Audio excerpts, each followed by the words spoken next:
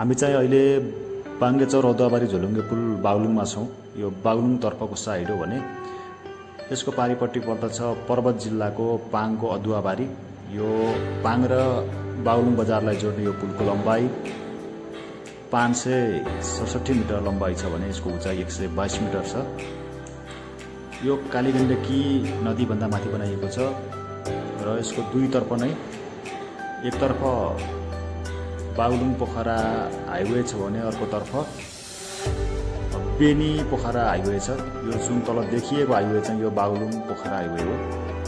यही हाइवे हुँदै पर्वत अनि पोखरा पुग्न सकिन्छ अनि त्यसको विभिन्न ठाउँमा पुग्न सकिन्छ भने पारिपट्टिबाट पनि पर्वत हुँदै देशको विभिन्न ठाउँमा पुग्न सकिन्छ।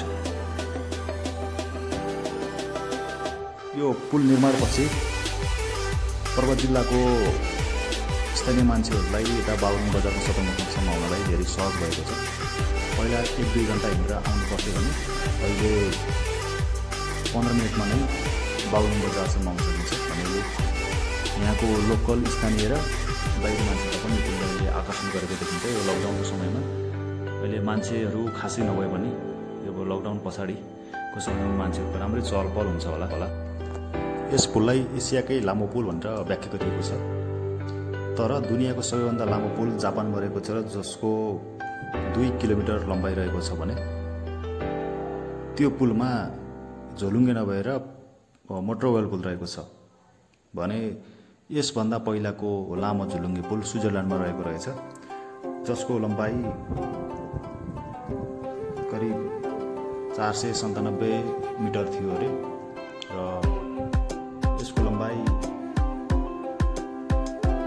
सडसठी मिटर भएको हुनाले अब यो गिनिज बुकमा दर्ताको लागि यहाँको नगरपालिकाबाट विभिन्न प्रक्रियाहरू पुरा गर्दै हुनुहुन्छ अरे उहाँहरूले। र यहाँबाट देखिने दृश्य चाहिँ अति नै उत्कृष्ट छ मनमोहक छ। र यसले मुस्ताङ जाने पर्यटकहरूलाई पनि एकपटक अवश्य हिँड्नलाई प्रेरित गर्नेछ। र हालसालै यो दुई हजार बिसमा नेपाल वर्ष पनि मनाउने तयारी गरिरहेको थियो सरकारले। तर त्यो भएको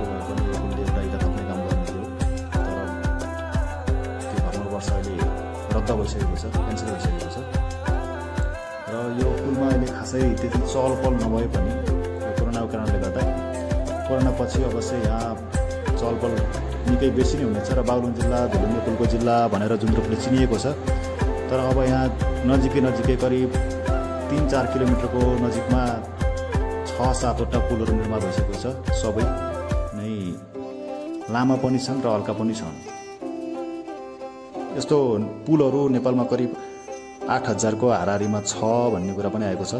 र यस्तो पुलहरूले नेपालको धेरै ठाउँमा आवाज जावतका लागि धेरै सहज सुविधा बनाउनेछ। यस्तो पुल नेपालको भौगोलिक बनोट अनुसार अति नै आवश्यक पनि छ। यहाँबाट पारी देखिने पाङ हो भने तलपट्टि देखिनेको यो बगर चाहिँ एकतर्फी मालढुङ्गा छ अर्कोतर्फ मिलनचोक छ।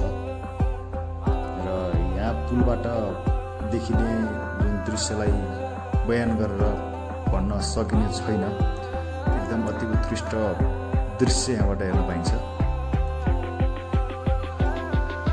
र यो पुल विकासका लागि कुनै पनि बाधा छैन हरेक कुरा इच्छा शक्ति भयो भने गर्न सकिन्छ है नेपालमा पनि हुन्छ भनेर एउटा नमुना पनि हो यो पुल। र विश्वमा शालिग्राम पाइने भनेर चिनिएको प्रसिद्ध एकमात्र नदी कालीगण्डकीको खोजमा यो पुल बनाउनु।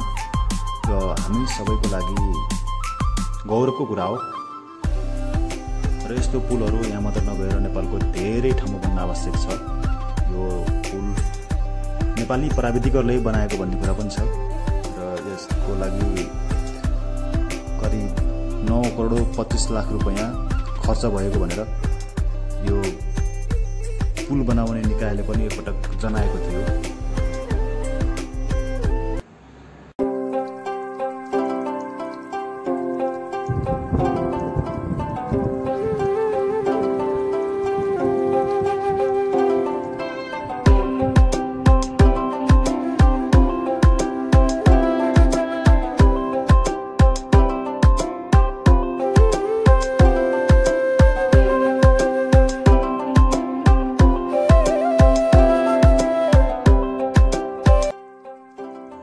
अन्तसम्म भिडियो हेरिदिनुभयो साथ दिनुभयो कस्तो लाग्छ जस्ताको जस्तै प्रतिक्रिया जनाउन नभुल्नु होला र साथमा लाइक सेयर कमेन्ट पनि गर्नुहोला।